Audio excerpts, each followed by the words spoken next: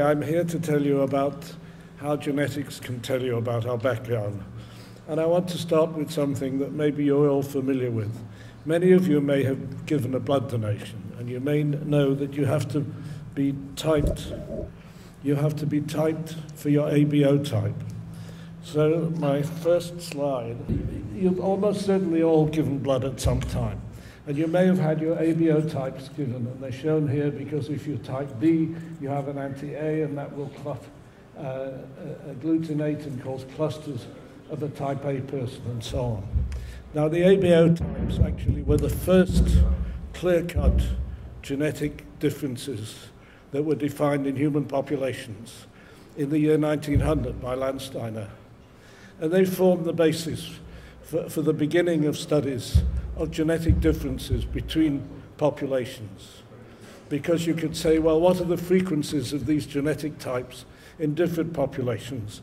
And what might they be able to tell us about those populations? So, uh, around about the time of the First World War, a couple called the Hirschfelds, they had worked on the ABO types.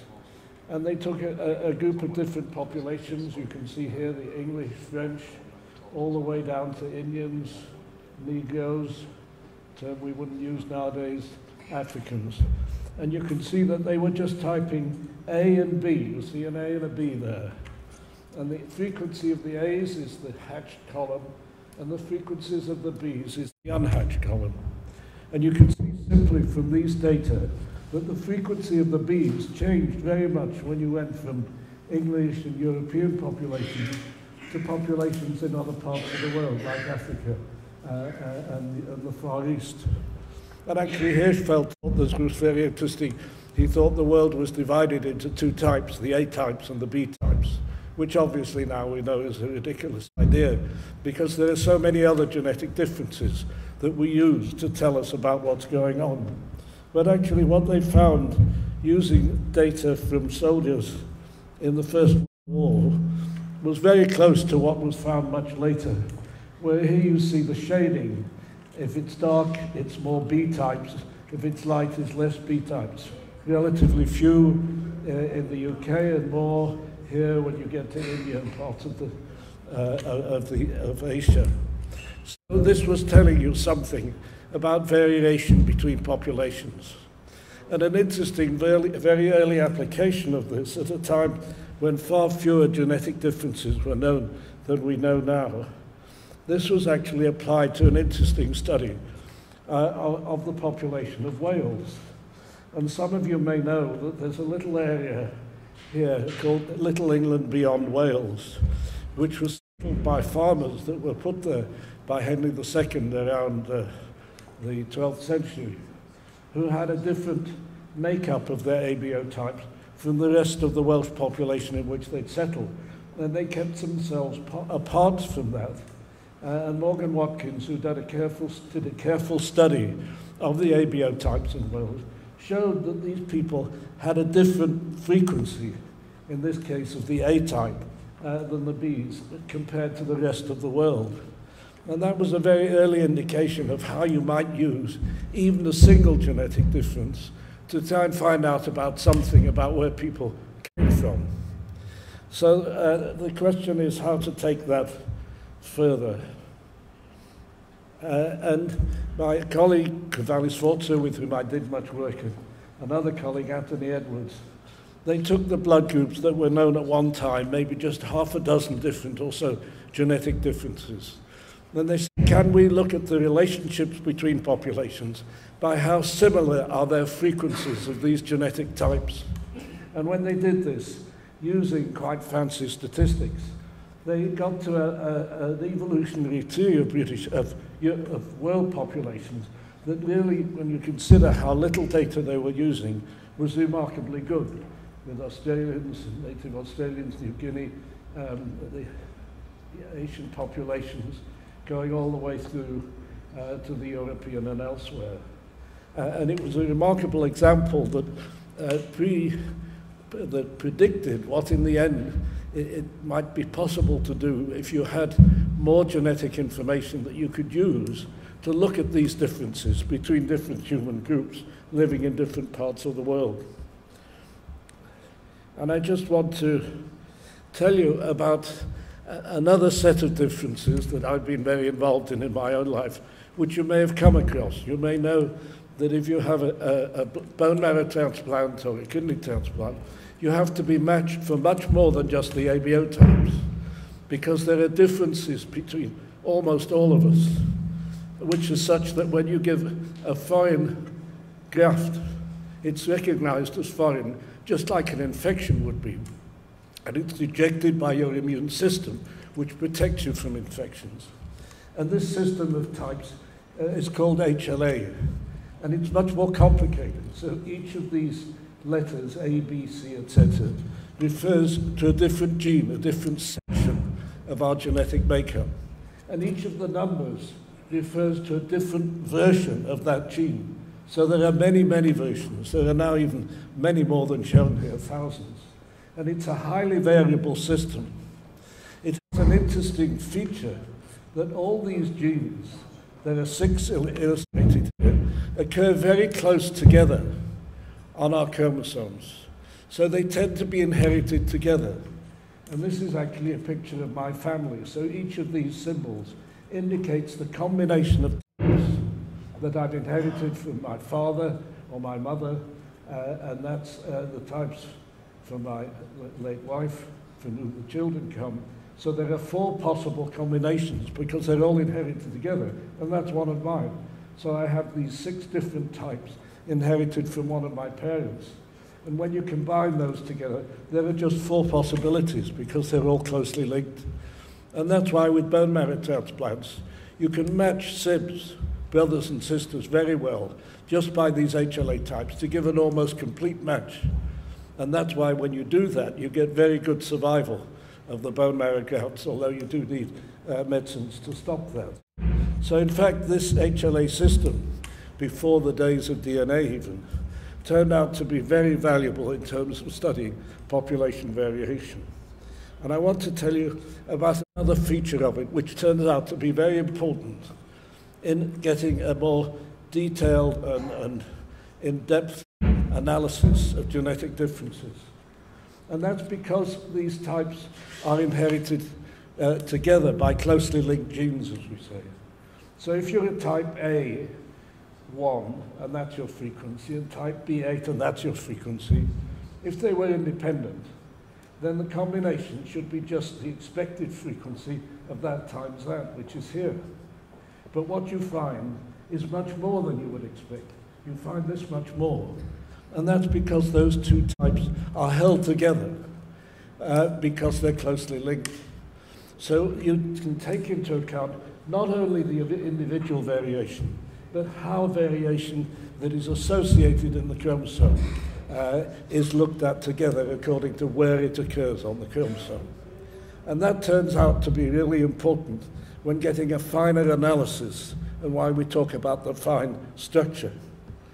So I want to, and uh, this system, just for interest, one of the reasons that the Wellcome Trust that supports a lot of human research supported us was not just to find out about populations, but because what you find out has a relevance to looking at genetic uh, disposition to different diseases. Uh, an early work with the HLA system showed that here's an ankylosing spondylitis, which is a sort of uh, aggravating form of, of rheumatism where your vertebrae stick together. Uh, and it turned out that people who have this ankylosing spondylitis, nearly all of them have this type B27, which can now be used essentially to help diagnosis where in the normal population there's hardly any of it. Psoriasis, a skin disease, associated with this type much more than in the normal population. And celiac disease, gluten sensitivity, which you may be familiar with, similarly associated with this type much more than in the normal population. And also rheumatoid arthritis. And that's because this system of differences, HLA, uh, is, is not there just to aggravate uh, transplant surgeons, but it's there to protect us uh, from immunity, and it plays a clear, key role in the way we respond to infections, notably uh, the, for example, the coronavirus, it's very important to understand the mechanisms through which uh, we respond uh, and may become resistant to such infections. So with that background, I want to tell you now about our study, The People of the British Isles. And as I say, this was supported because it was felt that the data we would get on the British population would help people in studying the genetic basis uh, of disease susceptibility. So it was funded by the Wellcome Trust, uh, uh, as I said, as a background to disease studies, but not studying diseases. We collected 4,000 or more samples, and we did this from rural areas because we wanted to get a representation of the British people as they were before most of the Industrial Revolution spread them all to different parts of the country and outside the cities to where people tended to go to. And we tried to get a better sample by taking people, all four of whose grandparents came from the same area, so that we were really sampling people who were representative of the part uh, of Great Britain where they came from. And we analysed at that time just over uh, 2,000 people. And uh, you're using DNA, I won't go into the DNA technology, but instead of using just one or tens, you can use hundreds of thousands of genetic differences at the DNA level, which give you a much better assessment of how different two groups of people are. And this fine structure does that by taking into account the differences you're looking at and where they're positioned and whether they tend to associate with each other in the analysis. So it's through that we created uh, what we call a genetic map of the British Isles, and that's what I'm going to tell you about uh, at, this, at this stage. Uh, for most of my talk, I'll tell you how uh, we, what we found and how that relates to where we think the differences that we found came from. And uh, we, we, had, uh, we had, of course, to be careful in the way we recruited people. Uh, and we used a variety of ways of trying to get people who were interested essentially in where they came from. So they, they knew that, that they came from that area, they knew about their grandparents, we used the media, family history societies, all sorts of organizations. And we would go to different parts of the country and settle ourselves into a, a, a town hall or a, or a church hall uh, and put a sign up and get people to come uh, and give us samples. And we take blood samples because that's where we can get the DNA from. And so here's a picture of a typical gathering. This is actually my daughter. This is one of the key people who helped with it. Another one there. And there we are in a room, and we've got a, that, that's my wife, my current wife. My first wife died, who was involved in discovering the HLA system. Uh, and we give them a questionnaire, find out about where they come from, uh, what their parents and grandparents' names were, and we take a blood sample so we can do the genetics. So what I'm going to tell you is, is what the results is, are of that analysis. Now, uh, this indicates uh, where we got the samples from. So each spot there is the mean position of where the grandparents of the people who were sampling came from. So you might wonder why some of them are in the middle of the sea, but that's because some of them had parents that were their grandparents and there. And you can see roughly we cover uh, the, the, whole of the British Isles pretty well, including Northern Ireland. We were not um, supported to cover Ireland because that's not part of what the Wellcome Trust did. You can see a big gap here in London because we didn't sample from the cities. It looks sparse uh, in, in Scotland, but that's because not many people live in those parts of Scotland. And you can see that's the Orkney Isles up there. And for various reasons, uh, we went there. I've been there about six or seven times now. And it's a lovely place to go to because they're an interesting population in their own right. So what do you do with these samples? You try and ask uh, how similar are people to each other? And you try and group them into groups that are similar based on the frequencies of these genetic types. Uh, and that's what we did, and that's what this says. And uh, in the end, you'll see pictures here with different symbols, with different colors, and each of them relate to a cluster of people who've been shown to be more similar to each other genetically than they are to other groups, just by the frequencies of their genetic types. That's what we call this fine structure analysis. And our original data was published first in 2015. Now I want to show you first what happens if you don't take into account uh, of, of where people come from. Uh, you get a mess. So these are all the symbols for different groups that we found. Uh, that's, I think, South Wales and that's North Wales. They're quite different. Uh, but, but even the Orkney Islands don't stick out. So if you just do the classical analysis without taking into account of how genes are inherited together, you don't get much information. But if you do it properly, using um, this uh, indication of where genes lie, you get a picture like this. And a lot of what I'm going to be talking about is to interpret this for you, because it's really quite remarkable. So each symbol, whether it's a circle or cross or square with a different color relates to a group of people who, by the statistical analysis, were found to be more similar to each other than they are to any other group within the UK. And we plotted, we got that information uh, and the analysis of the similarity by genetics with no reference to where the people came from. And then we plotted uh, those groups onto the map of the British Isles and the result is quite startling because the genetics seems to match with where they come from remarkably well. So here's Cornwall and Devon, the rest of England, Wales, and you see different sets of symbols, Northern Ireland and Scotland and Orkney. Uh, and so it's really quite a remarkable result, and I want to go through this in a little detail to indicate what these relationships and differences really, really tell us about the British population.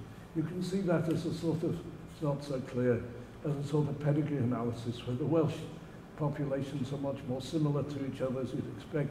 The Orcadian populations where there were several differences and the rest of England also showing differences.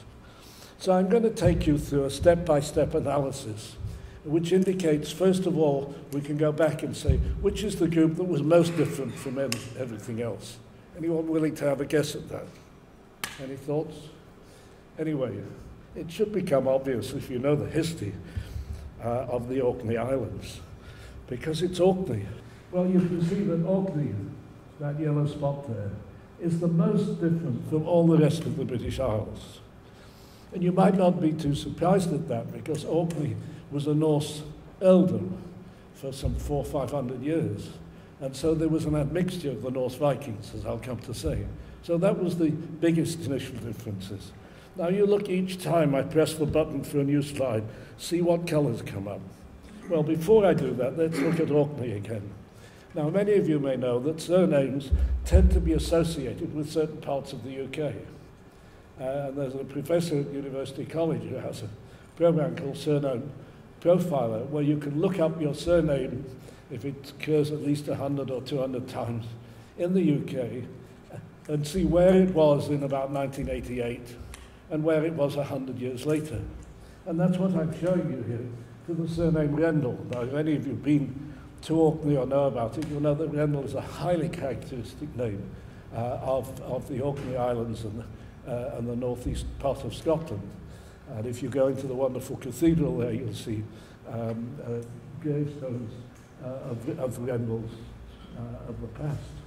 And you can see this purple shows that the main distribution in 1881 of a census there of that surname was just in Orkney and in that north and east part of, uh, of, of the British Isles, with possibly uh, a small little bit there.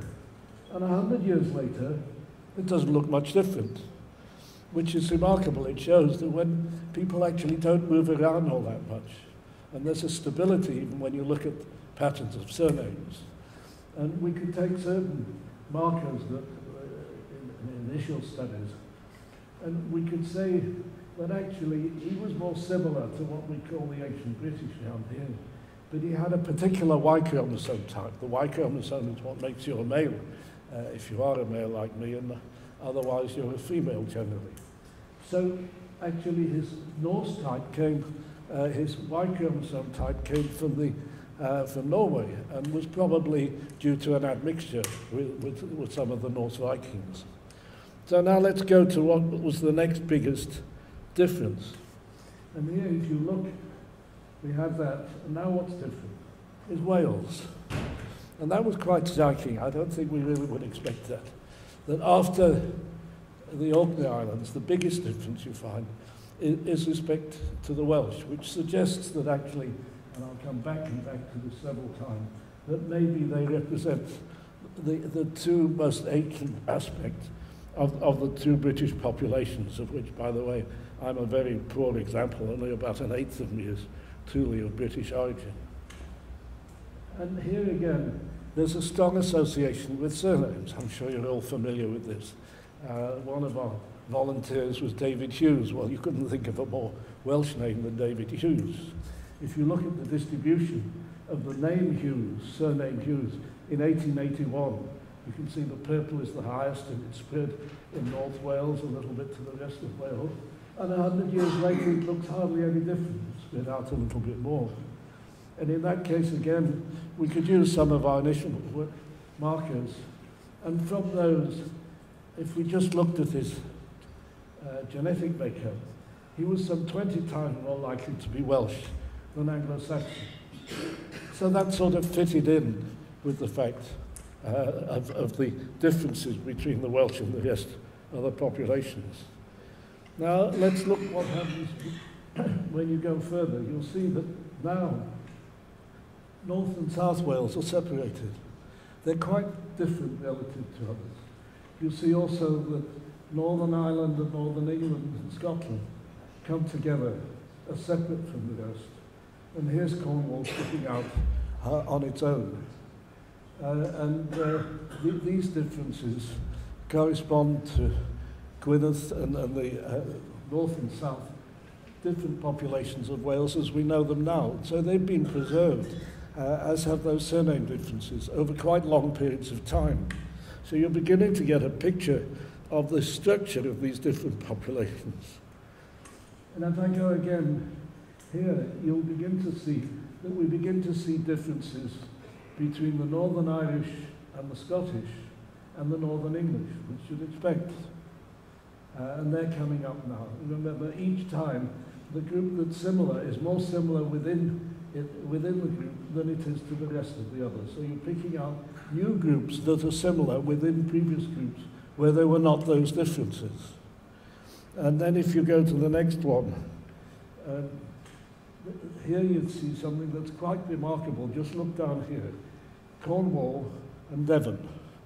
Uh, and you may not know the map that well the way I do. I've got a, somewhere where I go on holiday just about here. That's the real dividing line geographically, quite precisely between Cornwall and Devon. And look how there's hardly any overlap in the genetics. The genetics separates almost entirely the people from Cornwall, from Devon. Now, these are statistical differences. Um, so they're, they're quite small, but they're enough to indicate that there's some element of difference uh, in the genetic makeup of those two populations, which, which fits with what we know historically. And here you're beginning to see populations on the border, the Welsh borders, which are reflecting uh, the intermarriage of the difference between the Welsh uh, and the rest of the UK.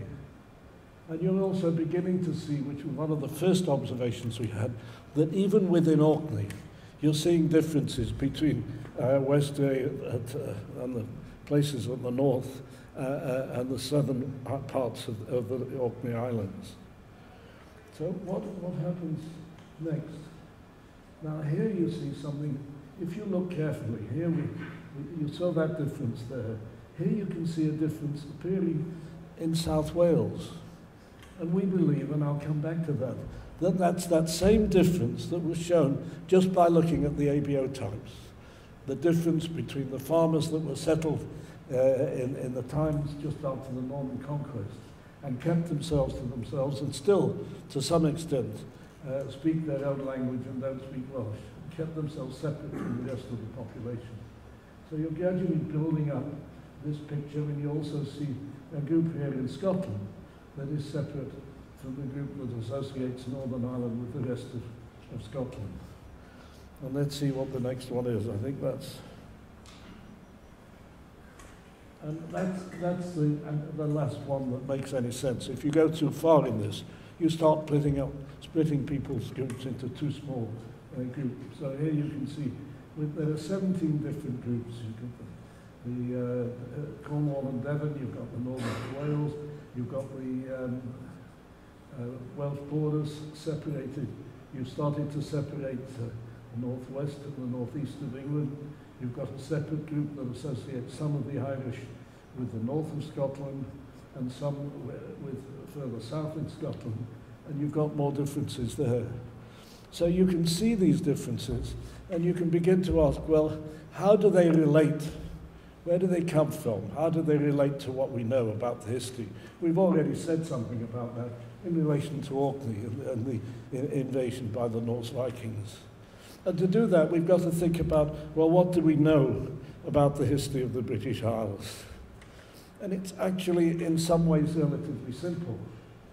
The last ice age stopped about 12,000 years ago. And although there were modern human remains found uh, on the British Isles that date back probably as far as 30,000 years, it's quite clear that they didn't survive the ice age that, that followed that. And so you don't have first settlers that stayed uh, that are less than about 12,000 years ago. And you have to remember, remember that 12,000 years ago there was no British Channel. Uh, there was a landmass that separated uh, the main part of Europe, that didn't separate, that joined the main part of Europe with the British Isles. So it was easier uh, to move from one to the other. The next big item was the arrival of agriculture which came about 6,000 years ago. Then the Roman invasions. They didn't bring much in the way of genetic input because they tend to keep to themselves. And by that time, the population was large enough so the contribution from the Romans was not large. Then the Saxon settlements, which of course were very important. And then the Viking migrations. And finally, the Norman invasion, um, which brought very little in the way of genetics as we know. And that's the last time there was a really successful land invasion uh, of the British Isles. And we've gone on our own way since then without major invasions, but of course with uh, major migration groups. So let's just think about that in, a little bit more detail. Uh, there's the land connection that you had before the Ice Age. Uh, and then, and that's when the first settlers came. Then when the Romans came, you see, they occupied an area like this, which actually corresponds to one of the largest genetically similar groups I've described. And, and they didn't get very far west, which is why you find less difference uh, between this part of Britain and, and Devon and Cornwall. And they didn't get very far up north either. So you were left with the Picts and the Irish and the others, relatively little influenced by the Roman invasion. But then the next set of invasions is the one that really contributes most to what we see now. You first of all have the Anglo-Saxon invasion that came from people in the Danish peninsula here and the northern part of Europe, France and Holland and those areas. And they settled uh, in, in, the area that we think of as the Danelaw down there. And again, they didn't penetrate all that far there. So there were, were populations that were not that influenced by the Saxon, Saxon invasions. But then when the Norse Vikings came, they were the ones who occupied uh, the Orkney Islands for nearly 500 years. They came down, uh, down here, they settled in Ireland and other parts there. They came very little to the south. You have to remember that the Danes, actually, uh, the Danish Vikings, were the origin of the Normans. So that's a picture. So the question is, how can we relate that picture of what we know to what we found in the genetics. And the way to do that is to see if we can relate the genetics of the European populations that surround the British Isles with those of the British Isles. So that's what we did. And in order to do that, you have to have a study of the other European populations. And we were fortunate that we had colleagues that had done a large study on multiple sclerosis, and they had some 6,000 samples from different parts of Europe that were analysed in the same way that we'd done uh, the analysis of the British populations. And you can see that these circles, I know you probably can't read but these sectors uh, uh, uh, reflect the different groups that we found that were similar to each other the way we found British groups were. So you find a group here, you can't read it, probably, it's 31. And you find it down here, and it overlaps with Spain from the south of France. And you find a, a group 11 here that was found along here. Uh, but then you find other groups in Germany and Poland and Italy that are quite separate and they're not, not found up here uh, and show quite remarkable differences between North and South Italy, uh, in fact between the different Scandinavian countries. So you can take the genetic data from those, where there are some 51 groups that were identified as different, and see how do they contribute? How can we make up the British genetic groups in terms of combinations of these European ones? Uh, and uh, you use a bit of fancy statistics to do that um, and represent each of those British clusters as a mixture of European clusters. But when you do that, you find that out of the 51 different European clusters, the only ones that seem to matter were about nine of them, reflecting the populations essentially around the fringes, fringes of Europe that face toward the British Isles. So I want to give you um, the results of what was found. And I just want to remind you again what we're talking about. We're talking about these 17 groups indicated by these different color symbols shape and size. And we're saying how are each of them represented by a mixture of those nine different European groups. And the results, I think, are really quite striking and, of course, begin to tell you a lot about what's happened. And let's look first at the Norwegian contribution.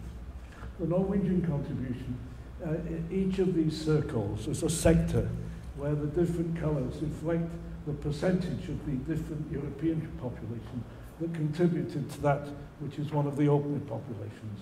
And those are the three Orkney groups, and you can see they each have a very large component, about 25% of their makeup can be represented by the, uh, by the Norwegian contribution, which you could say represents the Norse Viking input. And then if you go down here, you can see Northern Ireland has, um, has quite a reasonable contribution, uh, northwest of Scotland. And as you go down the country, that blue sector gets less and less because the influence of the Norse Vikings became less and less when you moved away from the places to which they migrated. Now I want you to look at another. Remember that the Welsh populations stood out as the most different, apart from Orkney, from the rest. And you can see they're quite different. They have a different mixture of these green types. And they have none of their own. And they're quite distinctive from the rest of the British populations. And if you look at those green types, they come from where you'd expect, from France and the northwest of France, uh, the northwest of Germany, and to some extent from Belgium. And then when you look here, uh, and you look at this main big British group that we think relates probably ultimately to the main influence that the, Rom the Romans had when they settled Britain, you can see this large red sector. These two, which are very large in the Welsh, are much less, very little from the Norse, and a bit of pink here, which begins to reflect where the Saxons came from and came in there. And if you look at the difference between, even between here, between Cornwall and Devon, you can see that there are just slight differences here, the frequencies uh, of the yellow component, which are the Belgians, that, that really reflect why we can distinguish the Cornish uh, from, the, from the Devon populations. So you get quite a, a remarkable relationship between what you might expect in some ways from the patterns of migration uh, and what the genetics tells you. Now, all of these differences, as I've mentioned, are quite small, but they can be enough to tell you quite a lot about where someone comes from. Uh, and, and we had a sample uh, that came from Blackburn. Now, if all you, I don't know how well you know the British geography of Blackburn. I was brought up in Manchester, and I know Blackburn's a town just north of Manchester. But this sample didn't come from there. It came from up here somewhere. And it turns out there's a Blackburn there too. So actually the genetics told us that the geographical assignment we'd made was wrong. And when we looked at the paperwork, that agreed with it. So you can find genetic differences here uh, that are enough to say something about where a person may, may well have, have come from. And I think there are a number of features uh, of, of these data which are of interest.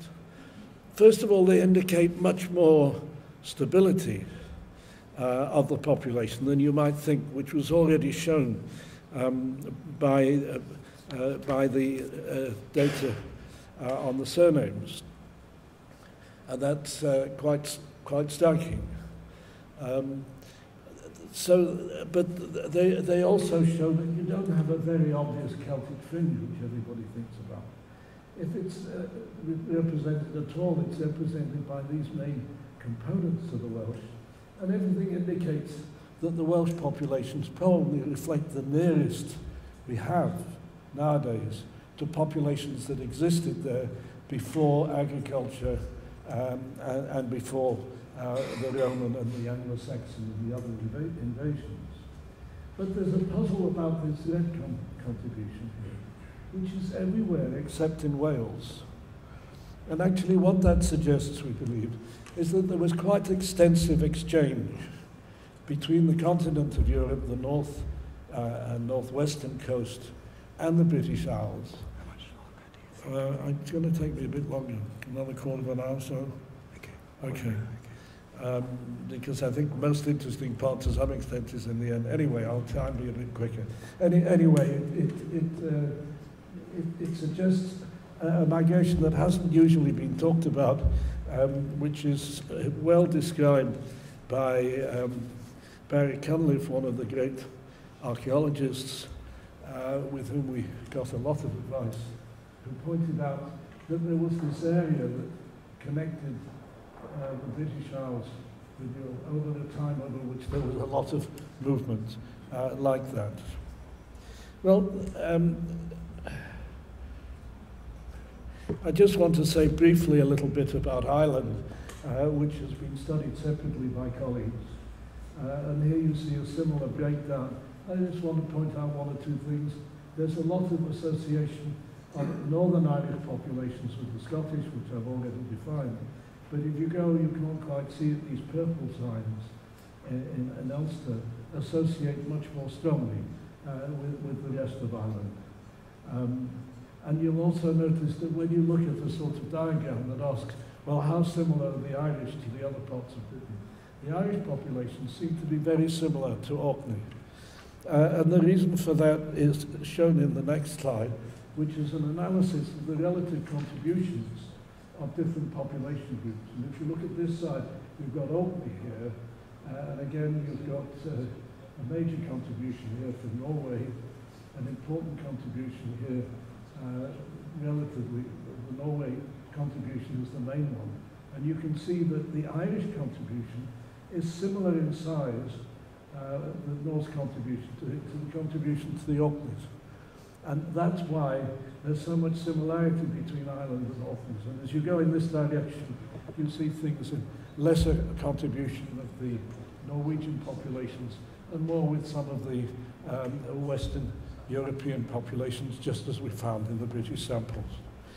Now, I want just in the last part to say something about what can we say um, uh, about uh, ancient populations. Uh, I show this slide to point out to you that agriculture came about 6,000 years ago, and it probably came to Britain from two directions, from the Aegean moving down the Atlantic coast, and from the Middle East and the Fertile Crescent, where it's often assumed, uh, coming across Europe, possibly two different sources. And that there was a later group where there's evidence of an input from the so-called beaker populations that came from areas like, like this, uh, and they came much later, about 1500 years later. So people have studied ancient DNA. Now with the technology, you can take little bits out of where the teeth were and get a, a reasonable characterization of the genetics of people who, uh, you know, whose skeletons have been found um, some few thousand years ago. Uh, and this has led to uh, a controversial suggestion that I mentioned in these two papers, which, which made the suggestion that if you look at the affinities with the Neolithic populations and with the later Beaker populations, they suggested that they completely replaced the existing population in the UK at that time, which seems unlikely that the immigrants could be so overwhelming. Uh, it happened in a way in the United States. If you kill off all the local people, either by killing them or by disease, then of course you get an excess of the immigrants. But it seems unlikely that that was the real uh, explanation for that. Um, and so uh, the question is, what can one say about that from some of the data? So uh, my last slide, but it takes a little while to explain, uh, looks into that. Many of you may be familiar with the fact that there's a huge population study of the British that's been taking place that's called Gene Bank, where half a million people have been sampled through their GPs, not selecting them from where they came from uh, uh, in any other way. Uh, and they've been studied for their genetics, but they've been mainly studied because of the contribution they can give to understanding genetic susceptibility to disease. And, and you can separate those populations, and these are two examples of how you can separate them. Um, and, and the different colours represent uh, different population groups. I, I think that these are the, what the these are the, um, I think these are the two Welsh populations. You, you get the, the various population groups that, that we've, we found in, in our study in, in the UK. Uh, and uh, so that, and then when you plot the British POBI samples against that background, it fits so that the North Wales and the South Wales are these red and yellow spots there, here and here.